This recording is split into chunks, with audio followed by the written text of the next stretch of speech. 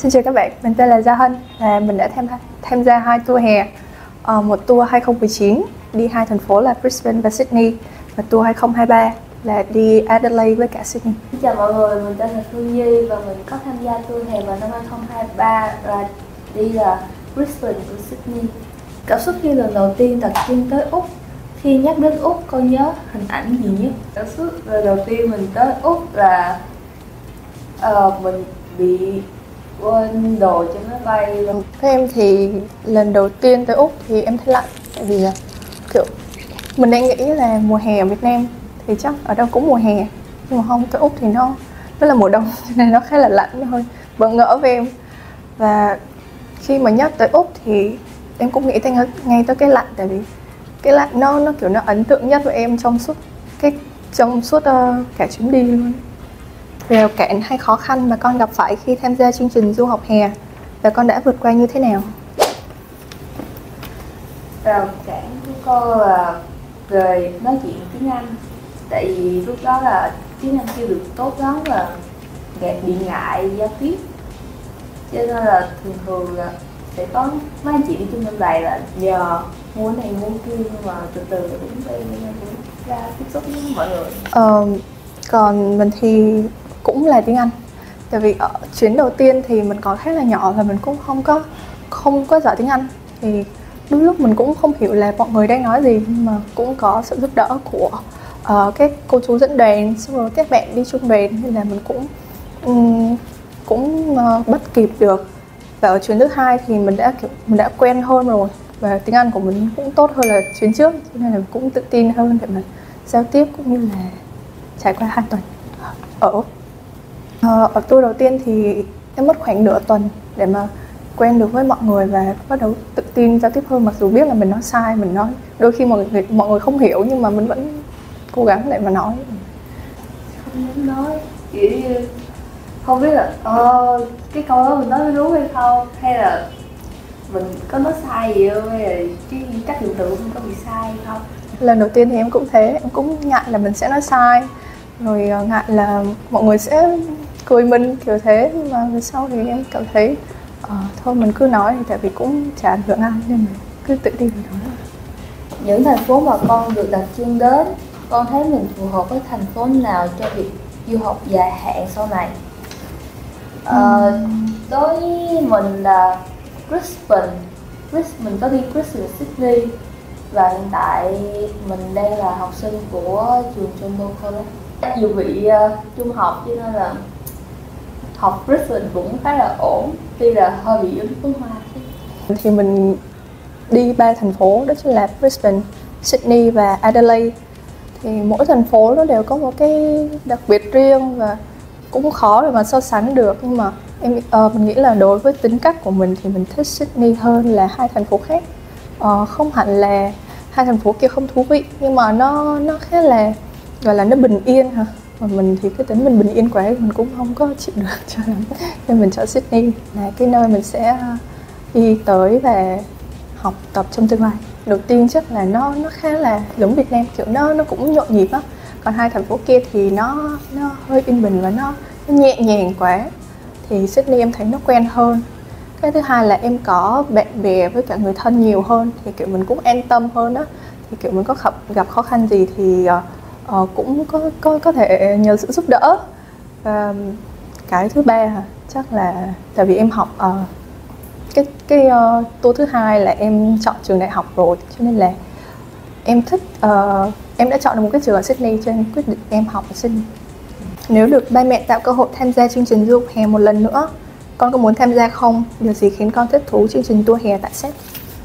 Thì đối với em thì nếu mà được có một cơ hội nữa để tham gia thì em vẫn sẽ tham gia. Tại vì em thấy mỗi lần đi là mỗi lần trải nghiệm rất là thú vị và các cái tour của sếp nó nó nó cũng có nhiều tour và nhiều sự lựa chọn nên em có thể uh, lựa chọn những cái tour khác. Nó cũng có rất là nhiều cái hoạt động để mà uh, mình biết nhiều hơn về úc biết về thành phố khác một cái uh, nơi khác. Đó thì em vẫn sẽ quay lại úc nếu có cơ hội. Đối với thì em sẽ đi thêm một lần nữa nếu được uh, tại vì tới đó thì em được gặp nhiều bạn mới làm quen được nhiều thứ và trải nghiệm nhiều thứ mới hơn. Ờ, với lại em thấy mọi người khá là thân thiện. Nhưng mà giúp đỡ em nhưng mà em không có biết nhiều tiếng Anh và nói không được rõ cái đó. Với lại em là một người cũng khá là thích trải nghiệm những thứ mới. Ờ, khá là thích đi cái tuần thứ hai uh, đi movie uh, movie world với lại uh, trường khá là vui tại vì uh, không biết sao nữa nhưng mà nó khá là vui. Vậy có bạn bè đi chung thì ai cũng vậy ngay đi vui với lại uh, biết thêm gì mới được khai sáng ra. Vâng, thì chắc là tại vì em đi hai chuyến lận nên em sẽ kể từng cái hoạt động của hai chuyến nha. Ở chuyến đầu tiên thì em nghĩ là em thích cái hoạt động uh, đi cắm trại với lại ờ, uh, đèn á với tất cả các bạn. Thì uh, lúc đó là đi lên một cái núi cái đồi nào đó nhưng mà cái đó là cái khu cắm trại. Và ở đó tụi em được trải nghiệm rất là nhiều cái hoạt động giống như là uh, kiểu người ta sẽ uh, tập cho mình những cái kỹ năng sống này mình có thể áp dụng cho sau này.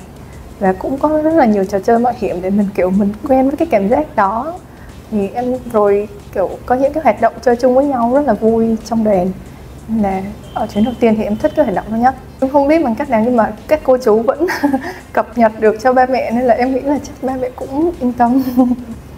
Còn về chuyến thứ hai thì uh, chắc là em thích những cái uh, những cái buổi mà tụi em được học thử được học thử ở trong các trường đại học. Thì uh, tụi em được học uh, mỗi ngành là sẽ được một buổi học với giảng viên luôn thì em thấy nó cũng là một cơ hội để em có thể hiểu hơn là uh, đại học nó sẽ như thế nào. Rồi mình có trình độ của mình ở đâu mình có nên đi sớm hay là mình có nên suy nghĩ về cái trường đó hay không cái ngành đó nữa. Đó dạ. Một kỷ niệm nhớ nhất khi sống chung với nhà host. Đó với chị thì hai lần ở Brisbane Sydney là giữa host. Ở lần đầu tiên là em ở ở Brisbane là host. Hiện tại tên là host thì, thì khá là vui. Với lại à, có một bạn là con của chủ nhà rất là thân thiện với tụi em. Có chỉ bạn nói tiếng việt. Ở tour đầu tiên thì à, em còn khá là bé cho nên là cả 3 tuần ở Brisbane và Sydney thì em đều ở chung với à, host cả. Và ở tour thứ hai thì em được ở riêng á. Em ở những cái căn hộ riêng với các bạn ở đi chung đoàn thì ở lần đầu tiên em có một cái kỷ niệm với uh, host ở Brisbane là kiểu cuối tuần á uh, sẽ mọi người sẽ gọi là tụ họp lại và sẽ mở uh, mở tiệc vào buổi tối. Kiểu sau bữa ăn thì sẽ ngồi với nhau sẽ nói chuyện rồi kiểu ngồi quanh bếp sưởi. Thì em kiểu em rất là thích cái cái, cái cảm giác lúc đấy kiểu nó ấm nó ấm từ trong ra ngoài luôn. Dạ, và con của chủ nhà cũng rất là dễ thương kiểu giao tiếp với nhau và mọi người rất là thoải mái không có làm cho em cảm thấy là em là người nước ngoài không có làm em cảm thấy là uh, mình bị uh, mình bị không hòa nhập được á cho nên em rất là thích. Và ở um, Sydney host ở Sydney thì cô là người Việt cho nên là cô rất là hiểu tâm lý tụi em luôn. Cô rất là thương tụi em cô chuẩn bị đồ ăn Việt tại vì cô cũng biết là đi hai tuần thì chắc cũng nhớ đồ ăn Việt lắm nên là cô nấu ngay khi tới thì cô đã nấu phở cho tụi em luôn. Thì cái điều đó là kiểu em ấn tượng nhất luôn khi mà ở chung với cô và tour thứ hai thì um, tụi em ở chung với nhau có những cái kỷ niệm với nhau thì cũng cũng gọi là cũng mường tượng được là khi mình sống chung khi mình đi du học mình sống chung với những bạn khác như thế nào mình phải gọi là mình phải uh, kiềm cái tôi lại. Vì đôi, đôi lúc thì cũng sẽ có mâu thuẫn nhưng mà um, nhìn chung thì vẫn rất là vui và mọi người rất, vẫn rất là tôn trọng yêu thương nhau. Ờ, nói chung là từ việc nhà hay là bếp là có đủ có chỗ được chén luôn thì em muốn ăn gì em tự làm em tự mò vô làm ăn được. Ờ, nói chung là ở nhà sao em qua đó em đi trang vậy chỉ có điều là em tự làm. Ờ, còn việc ăn uống thì buổi trưa và buổi tối có sẽ là cho em ăn. Ờ, và em phải tự rửa chén nhưng mà đem lại cho host. Ừ. thì như em nói em như em đã nói thì em cũng có một chút không có giỏi tiếng anh nên là đôi lúc kiểu giao tiếp hàng ngày á uh, em cũng kiểu hơi ngại nói với người ta hơi ngại một chút. Khi nào người ta hỏi thì em sẽ bắt đầu câu chuyện thôi chứ em không có chủ động nói chuyện. Thì có em nhớ có một kỷ niệm là em bị uh, em và bạn cùng nhà hơi uh, hơi ngại quá và ít nói chuyện quá. Xong rồi kiểu cứ bị uh, tại vì ngại ấy, cho nên là hay ở trong phòng và không có nói chuyện nhiều với chủ nhà còn chủ nhà thì, uh, còn host thì kiểu cũng rất là muốn nói chuyện rất là muốn mình hòa nhập. Nhưng mà mình mình mình ấy quá mình hướng nội quá cho nên là uh, tới giờ ăn thì mình mới kiểu là muốn chui ra khỏi phòng thôi. Nên là có một lần bị hai đứa bị mắng. Bị mắng yêu thôi là kiểu ý là tại vì ở chung với nhau á mình phải uh, chia sẻ mình phải nói chuyện với nhau chứ đừng có ở trong phòng suốt. Thì từ từ đó là tụi em bắt đầu ok. Mình mình ra ngoài nhiều hơn mình ngồi ở ngoài mình chơi chứ không chơi trong phòng nữa. Dạ. Yeah. thông điệp chương trình du học hè. Tôi đi tôi trải nghiệm tôi trưởng thành. Hãy chia sẻ. Thật sự con đã thấy thấy mình trưởng thành thế nào sau chuyến đi. Ví dụ cụ thể. Thì với em thì kiểu cái thông điệp này cái chuyến đi sao cái cái thông điệp này như thế nào thì cái chuyến đi nó y chang như vậy luôn em cảm thấy bản thân em trước khi đi nha một người một người rất là rụt rè. Không muốn em dám nói chuyện với ai ấy, tại vì kiểu thời gian của em chủ yếu là đi học và ở nhà với ba mẹ thôi em cũng ít đi chơi nữa nên là không có tiếp xúc nhiều với mọi người. Mà khi đi á, thì em phải hoạt động nhóm em phải uh, tiếp xúc với nhiều người hơn mà còn khác ngôn ngữ nữa. Nên là kiểu sau chuyến đi thì em về em cảm thấy em cũng mạnh dạn hơn rất là nhiều. Em dám nói chuyện với mọi người em dám như là ngồi đây ngồi đây để nói chuyện như thế này. Thì trước và sau chuyến đi mặc dù hai chuyến khác nhau mà mỗi chuyến em đều có một cái sự thay đổi rất là rõ rệt yeah. em thì ngược lại với chị là em là người nước ngoài đi chơi khá là nhiều. Thì sau cái chuyến đi này thì với em là em kìm hãm được một thứ bên trong mình nói sao ta kiểu em ngay quá em vậy quá. Xong rồi đi cái chuyến này ờ, mình ở chung với người ta mình phải biết kiềm chế lại. Chứ mình không có được ở nhà nữa. Ờ, rồi về nhà mình tự làm nói chung là mấy cái thứ là và không còn ba mẹ làm nữa. Cho nên là tự lo hết bạn bè cũng vậy. Rồi em nghĩ là kiểu sau chuyến đi á thì kiểu 3 tuần mình không có được nói chuyện với ba mẹ xong rồi mình không có kể chi tiết được á xong rồi về nhà một cái là mình sẽ mình chào ra mình sẽ kể hết luôn và mình sẽ nói từ ngày này qua tháng nọ luôn. Kể cho mà hết thì thôi nên là em nghĩ là cái việc lanh hơn thì chắc là có ở mỗi người luôn. Về môi trường sống cũng như sinh hoạt ở úc có quá khác biệt khi con ở việt nam không? Khác biệt như thế nào nè? À, và con đã thích nghi cũng như hòa nhập trong vòng trong vòng bao lâu trong suốt chương trình hè sẽ được diễn ra trong 2 đến 3 tuần? Tôi nghe là không biết út khá là trong lành. Do em có bệnh nền về mấy cái bệnh nền về hen suyễn á cho nên ở út khá là trong lành như là em không còn bị bệnh nữa.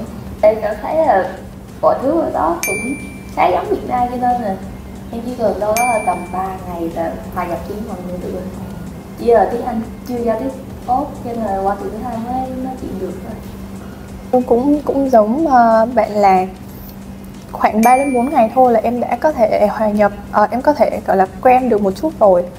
Môi trường thì cũng giống vậy là nó rất là trong lành nó mát mẻ. Tại vì đã đi ngay cái mùa đông là Việt Nam thì khá là nóng nên là qua đó em cảm thấy rất là mát kiểu mình như ở trong phòng máy lạnh nguyên ngày luôn đó em rất là thích cái cái cái thời tiết ở Úc à, trong suốt chương trình thì kiểu uh, tại vì em đi hai thành phố là Brisbane với cả uh, Sydney rồi Adelaide nữa thì mỗi cái nó có một cái cái cái cái khác nhau. Như là sao ta? Uh, lúc con người á con người úc mọi người rất là thân thiện luôn em cảm thấy kiểu đi đâu ừ, siêu thân thiện luôn. Mới đi ngang qua cái hello kiểu mình bị ngại. ừ, mình chỉ cần nhìn vào mặt người ta người ta nhìn vào mặt mình là hi hello và chào hỏi như những người quen vậy.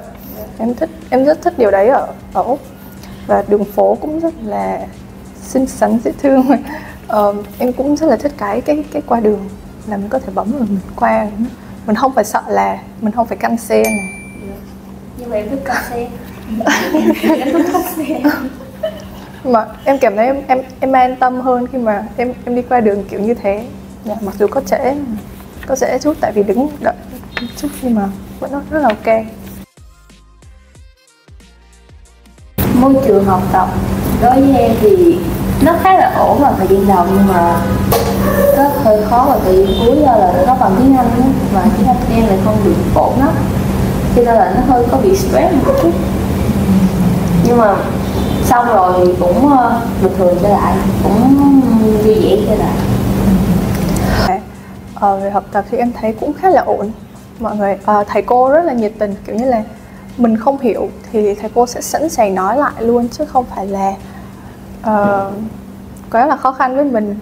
Và em ở Việt Nam thì em học một cái trường công bình thường thôi.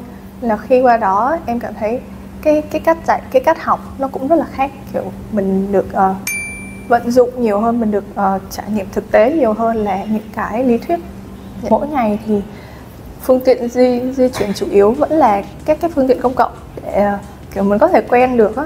Nên là giờ cũng rất là thân thiện 2 đến 3 tuần tại Úc con đã được tham gia và trải nghiệm những hoạt động nào? Hãy kể kể lại theo trí nhớ của con.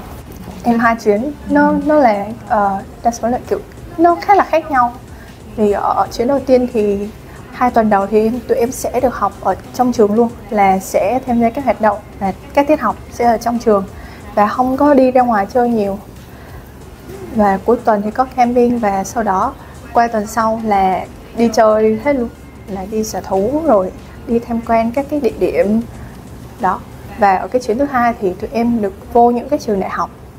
Tụi em ờ, tham tham quan các cơ sở vật chất và gọi là nghe hướng nghiệp rồi đấy nghe hướng nghiệp từ các uh, từ các ngành luôn. Em cũng giống ờ, uh, hơn là cũng hai từ đầu là vừa học vừa chơi nhưng mà nếu có đi nhiều hơn chị một chút ờ, uh, còn qua tuần thứ ba là có có lên Sydney chơi hầu hết là đi chơi không cho nên là cũng thấy thoải khá là thoải mái trong cái gì đó. Review lần đầu trải nghiệm một buổi học tại úc có gì đặc biệt và khác lạ học thử ở đại học. Em học thử một lớp ở đại học. Thì ờ, cái cảm cảm giác của em khi lần đầu bước chân vô lớp là em rất là thích cái cái cái cách bày trí của cái cái lớp học á. Và giáo giáo uh, giảng viên cũng rất là nhiệt tình và rất là là rất là giỏi luôn á. Và sau đó thì uh, cũng mặc dù tiếng Anh khá là tốt nhưng mà với cái nhịp của thầy thì mình cũng chưa bắt được lắm. Và em cũng mất một lúc và em cứ em mới có thể quen được với cái cái cái sự giảng dạy của của thầy. Và từ đó thì em, thấy tiết học đầu tiên nó cũng khá là thú vị và em cũng có vẻ là khá là thích cái cái cái uh, tiết học ở đại học. Yeah, khá là quen. Em có thể kể kỷ niệm nhớ nhất về thầy cô dẫn đoàn và bạn bè đi chung? Thầy cô nhây rất là nhây luôn. Nhây lắm nhây từ học sinh tới giáo viên. Ai cũng nhây. Lớp tôi ai cũng hiền chơi chơi chơi vui. Với lại uh, hay giúp đỡ lẫn nhau em thấy mỗi ngày trải qua đều là những cái kỷ niệm. Em kiểu em, em thấy rất là đẹp luôn em thấy rất là thích. Tại vì thấy cô ờ, uh, các cô chú thì rất là nhiệt tình luôn. À em nhớ em có để quên đồ ở ở nhà host ở Brisbane. Và sau đó thì uh, ra sân bay em mới nhớ. Nhưng mà không thể không thể quay lại nhà để mà lấy được. Cho nên là em mới nhờ cô chú là gọi điện hỏi. Rồi uh, sau đó thì bên sếp cũng hỗ trợ ship cái đó về Việt Nam cho em đó là tour đầu tiên. Bạn bè thì cũng cũng rất là vui tại vì mọi người cũng ở cái lứa, lứa tuổi ngang ngang nhau á. Nên là tụi em cũng khá là cùng tần số. Dạ. Và tour thứ hai thì chỉ có một một người dẫn đoàn thôi. À, đó là cô Hà. Thì cô Hà gọi là siêu tâm lý luôn rất là hiểu hiểu tụi em và có thể uh, và chia sẻ tụi em với tụi em rất là nhiều. Để tụi em chơi được hết với nhau luôn. Rất là vui vẻ kiểu ai cũng chơi được với ai chứ không có bị uh, gọi là bị tách nhóm ra hay như thế nào?